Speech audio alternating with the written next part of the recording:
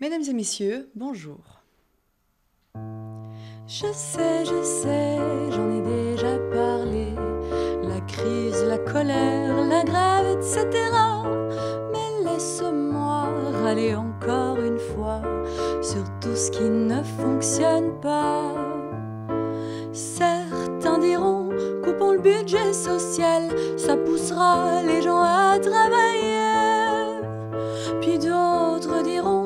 Mettons plus d'aide sociale, la misère, c'est vous qui l'avez créée. Grâce à tout ça, rien ne se réglera. La file au CPAS grandira. D'ailleurs, ils ont fait des protestations concernant leurs conditions.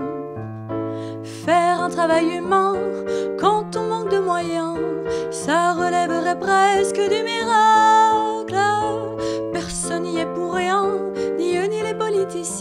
Mais dans la salle d'attente, c'est la débâcle.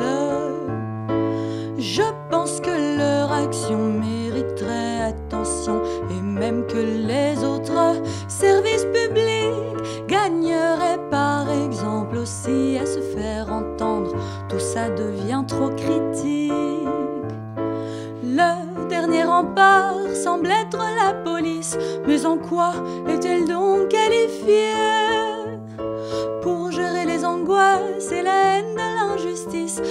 Devient qu'encore plus frustrée. Qu'ai-je entendu l'autre jour comme solution, qui comme toujours était remise en question? Le revenu universel, me dit-on, permettrait l'émancipation.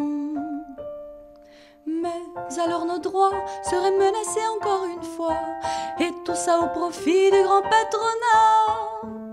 Mais je me demande si ceux qui tiennent ce discours-ci ont déjà eu affaire à tout ce stress et cet enfer. Quelle la mendicité de sa dignité? Pardonne-moi pour cette lourdeur. J'ai passé une semaine pleine d'aigreur. Mais voilà donc la suite de ma chanson. Reprenons l'actu en Il s'agit, je crois, beaucoup d'écologie. Tout le monde sait le pourquoi, mais personne ne sait comment agir. Alors les dirigeants du monde se sont retrouvés en Égypte pour entrer chez eux en jet par la suite.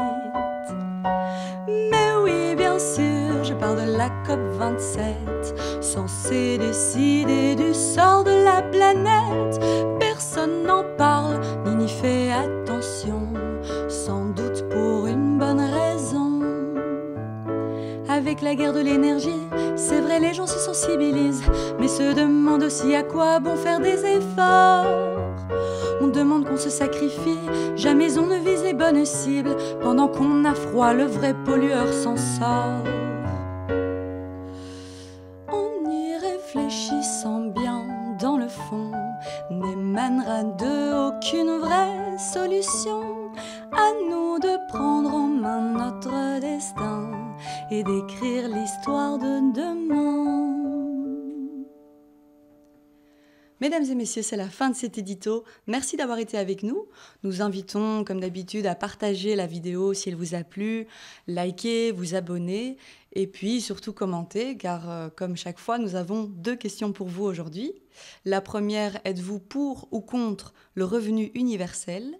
Et ensuite, pensez-vous que l'humanité saura faire face aux défis liés au dérèglement climatique? Bonne journée à tous